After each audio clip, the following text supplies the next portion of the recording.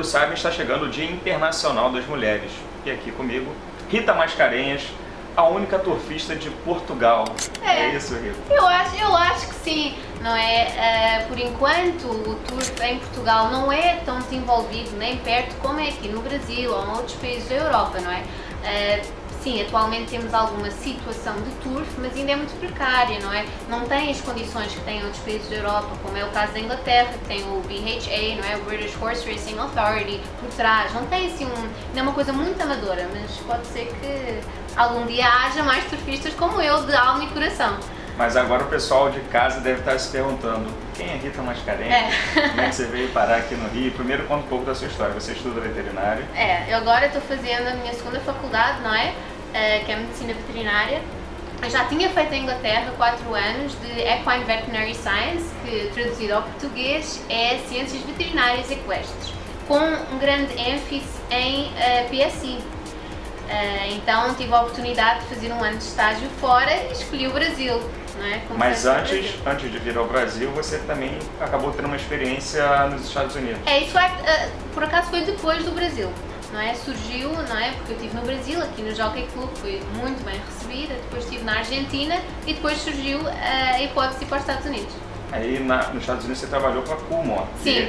E, né, e não deve ter sido fácil chegar lá. Não, exatamente. Eu ao início, como vocês sabem em casa, a Coolmore, a Coolmore America é, é um área extremamente conceituado pelo mundo fora.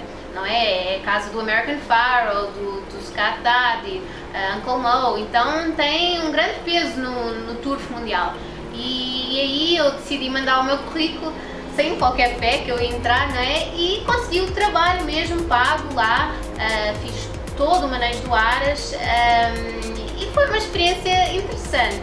Foi, trabalhei desde baixo, por isso isso significa limpando baia, não é? Desde o início. Uh, foi um trabalho duro, não vou mentir, muito trabalho e é um manejo muito diferente do que aqui o manejo do Brasil. Você pode aproveitar e explicar pra gente um pouco dessas diferenças e até um pouco da sua experiência na Europa também, né? É, exato, porque eu também, graças a Deus, consegui fazer estágio no Santa Maria de Araras, que, pronto, não é? que é um Aras muito conceituado aqui no Brasil, tive essa oportunidade e trabalhei junto com o Dr. Joaquim, com a Dra. Érica, sim, exatamente, lá em Curitiba. E, e aí tive uma boa percepção do que é o turf a parte do Aras no Brasil.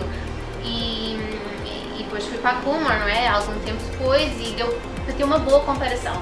A primeira coisa que, que, que, eu notei quando fui para os Estados Unidos é que as éguas têm o, os potros dentro das baias, coisa que aqui no Brasil é fora, em quase todos os Você estados. fala em caso do parto? Do parto, do parto. Do parto. É um parto muito mais, onde tem muito mais interação humana nos Estados Unidos do que aqui no Brasil. Aqui é mais natural, né? Exato, aqui é muito mais natural. Uh, não sei se é questão de, não é, de cultura de manejo de aras ou porque é, é uma questão mais prática. Eu tenho uma pequena experiência no área de Santa Rita da Serra. Lá foi uma preferência da equipe veterinária de que seja o mais natural possível. Eles acreditam Exato. que isso é, é bom para o potro e bom para é. ela. Outra coisa, tu agora falaste da medicina veterinária, lá nos Estados Unidos os, os um, administradores de aras que estão no dia a dia do aras, do manejo do aras, não são médicos veterinários. O médico veterinário é como se fosse um auxiliar do aras que é chamado em caso de necessidade. Não é como aqui no Brasil, na maioria dos aras, que tem sempre um médico veterinário que é o administrador global, vamos assim dizer, do dia a dia do Aras. Isso é uma das maiores diferenças que eu também notei. E agora você também você teve uma passagem pela Inglaterra. Lá você chegou a, a, trabalhar com cavalo, foi estudar? Então, como eu morei lá há tanto tempo, não é? Tive a oportunidade de conhecer bem a fundo o turf inglês, não é? E, e é totalmente diferente do turf aqui. Tem muito mais movimentação jovem, não é? Muito mais mulher no turf, mesmo limpando baia.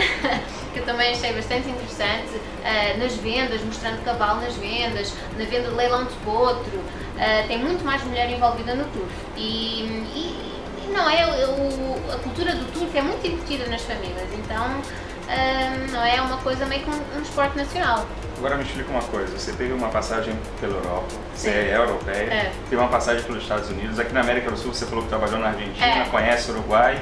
Exato. Por que essa paixão pelo Brasil, pelo Rio de Janeiro, pelo truque brasileiro. É, então, eu acho não é, é, é, é das maiores, não sei, é, ligações, não é? Eu acho que é a língua, não é?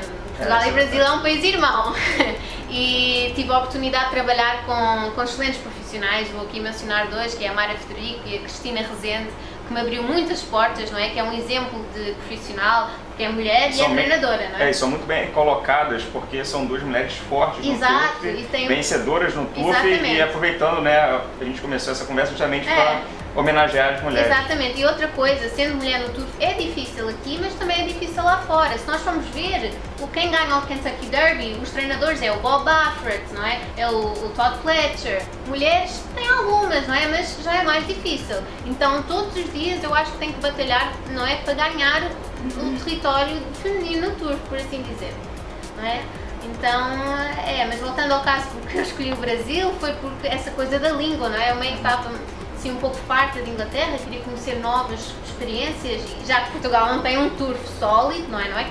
Pronto, como os outros países da Europa, não é? Que já têm um turf implementado há 100 anos atrás, eu escolhi o Brasil por causa da língua, não é? E, eu acho que me iria sentir. É, também, não é? E foi a melhor decisão que eu tomei. Foi a melhor decisão. Foi Agora... super bem recebida. Melhor decisão que eu tomei. Agora para encerrar, Rita é, um sonho que você tem na sua nessa, nesse início de trajetória você já sabe que você está muito bem já conhece muitos lugares que é. muitos turfistas querem conhecer um sonho para você na sua profissão no que você escolheu que é a, a veterinária Bem, não é? Eu gosto muito do turf, eu não queria afastar desse mundo, não é? Então talvez criar um turf sólido em Portugal e incutir nos portugueses essa cultura do turf, porque as pessoas dizem, ah, um turf é fácil criar. Sim, é fácil construir o hipódromo, mas agora captar a atenção do telespectador, do, do, do sócio, do turfista, isso já é mais difícil. Isso é a educação do turfista, não é? Então isso é. vai demorar é um algum tempo. Grande, é um grande desafio. Tem que pensar grande. É. Todo mundo em casa vai, vai curtir bastante essa matéria. E homenagem para as mulheres a gente tem que fazer todos os dias. É, exatamente. Mas, então na próxima terça-feira tem mais um vídeo ou mais um texto aqui no blog Baliza 1 da PMU Brasil. Obrigada.